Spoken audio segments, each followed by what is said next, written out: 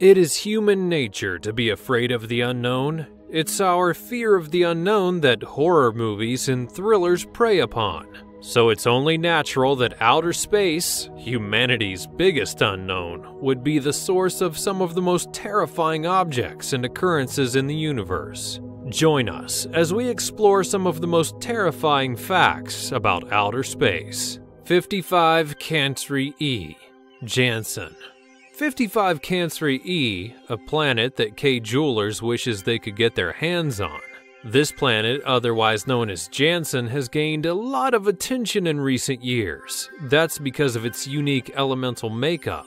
It's surmised that around one third of the mass of the planet is made up of carbon. Due to its proximity to its star, 55 Cancri A, Janssen has cruel atmospheric conditions that include a surface temperature of, oh, only 3100 degrees Fahrenheit. This hellish atmosphere, in addition to the planet's volcanic activity, have led scientists to believe that the majority of the carbon on the planet is in the form of a diamond. The real Death Star. Now, if you saw Star Wars The Force Awakens, you'll definitely remember the Death Star ripoff known as Starkiller Base. In the movie, the Starkiller Base is a planet like headquarters that drains the energy of the solar system's sun to power its own weapon. However, would it really surprise you that the Starkiller Base is actually based on a real cosmic entity? These stars, known as vampire stars, are able to drain the plasma from smaller neighboring stars. While the stars don't fire a giant laser at the end of the process, it is still terrifying to know that, as we hurtle through space, all it would really take is a slightly larger star to drain our sun, ending all of the life on Earth. Rogue planets. Now, they are exactly what they sound like a planet that is not bound to a solar system. It's just kind of flying around space millions of miles per hour.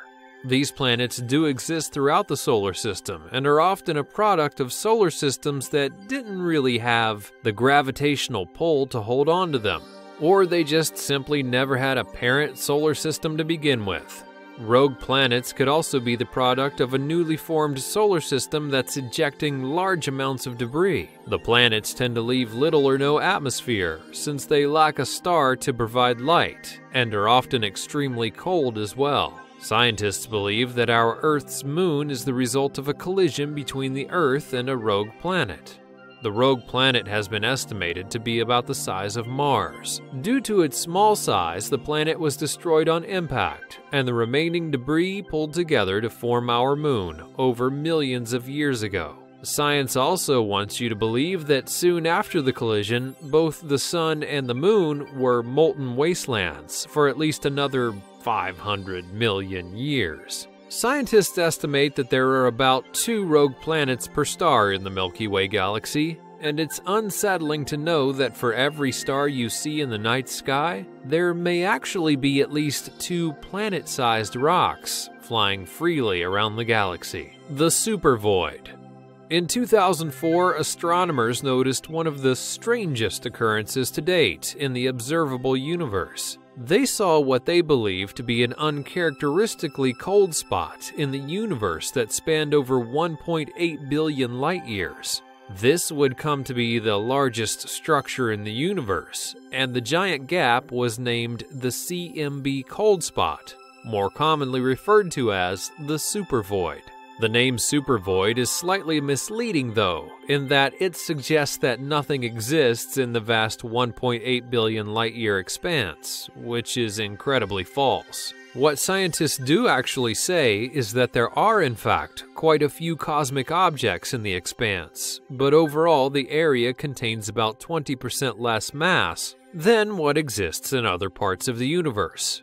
The scary part about it all is that scientists are still unsure of even why the cold spot exists. While the Big Bang Theory does state that cold spots are able to exist in the universe, it doesn't show any kind of evidence that cold spots of this magnitude could really exist.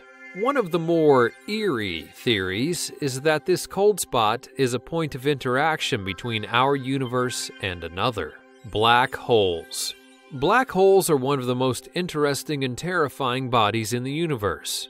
Our known laws of physics seem to break down when it comes to explaining black holes, and if you've seen the movie Interstellar, you already know what we're talking about. When a star enters its supernova stage, it will either become a neutron star, or if it's massive enough, will become a black hole. Black holes are so dense that the gravitational pull does not allow anything to escape the event horizon, not even light. And there are two types of black holes. The first is called a stellar mass black hole, which can be as small as an asteroid or as large as our Sun. The second type is called a supermassive black hole, which have mass sizes of millions of times larger than that of our Sun. So, where can these behemoths be found? As it turns out, at the center of every galaxy in the universe. These black holes have been consuming solar systems for billions of years and will continue to do so until they end up meeting their own demise. The largest black hole that was ever observed had a mass that was 40 billion times that of our Sun. So, what makes these monsters so terrifying exactly? Is it the fact that we know so little about what goes on with them and what we know happens as we approach them? The gravity around the event horizon of a black hole is so great that time begins to slow down. To the observer, time will seem as though it stopped once you've reached the event horizon. And once you begin to cross the threshold, it's unclear as to what really will happen next. It's commonly believed that your body is going to continually be compressed until it just becomes a single stream of atoms, speeding towards the center. And some scientists believe that depending on the size of the black hole, you may not experience such a death for years until you reach the center of the black hole, otherwise known as singularity. However, it is theorized that black holes can be the key to time travel or even proof of a multiverse and it's also believed that the density of the black hole is so great that the fabric of space and time itself folds in on itself, which would theoretically allow someone to jump onto another part of the space time continuum. As it would be impossible to survive traveling through a black hole, scientists may never get the chance to reveal the truth behind what happens on the other side. The closest supermassive black hole to the Earth is approximately 27,000 light years away at the center of our Milky Way galaxy, so you shouldn't really expect them to make any kind of attempt to study it up close anytime soon. Gliese 581c Scientists are constantly looking for other planets near our solar system in which life can survive. Part of the reason for this search is to see if humans can achieve interstellar colonization. Another reason is to see if life has taken hold on other planets, therefore proving that we're not alone in this universe. One of the most terrifying planets that we've looked at is called Gliese 581c. When scientists suggested that this was a habitable planet, they were truly looking for the minimum requirements to support life. The planet is tidally locked, much like our moon to Earth. And because of the tidal locking, one half gets sun all day and the other half is always in nighttime.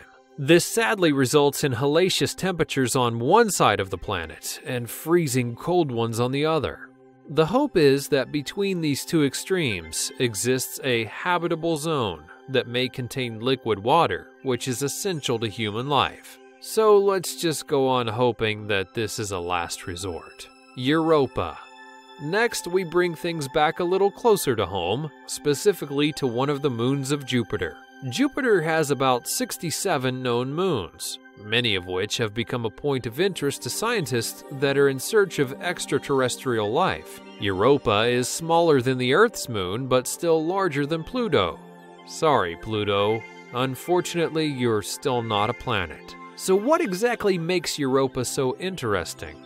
Well, it's believed that Europa's atmosphere mainly consists of oxygen, and along with that, that its surface is made of ice. Scientists believe that under this ice are massive subterranean oceans capable of supporting life. Looking at the life that already exists in the Earth's oceans, it's not really too hard to believe that a planet completely made of subterranean oceans may just contain similar forms of life. What is unnerving, though, about these oceans is that science is still not sure how life would develop under such unique conditions. While it may be calming to think that there would just be fish under the surface, it's likely that evolution would create something slightly more monstrous. The multiverse. Europeans once believed that they were the only country in existence, and then they would go on to discover the New World. There was also once a time where humans believed that the Earth was the only planet in existence. And then soon we learned that we're just one out of many planets in the solar system. Then we thought that our sun was the only one in the universe. And we then learn that ours is just one of billions within the galaxy. In further unwise theories, we believe that our galaxy was the only one in existence, only to find out that we're just one of billions. So, if logic dictates anything about our history, it's that we should not assume that we're the only universe in existence. If you've watched any amount of science fiction, you've probably heard a reference to the multiverse. The multiverse theory is a concept that suggests there are infinite universes that exist outside of our own.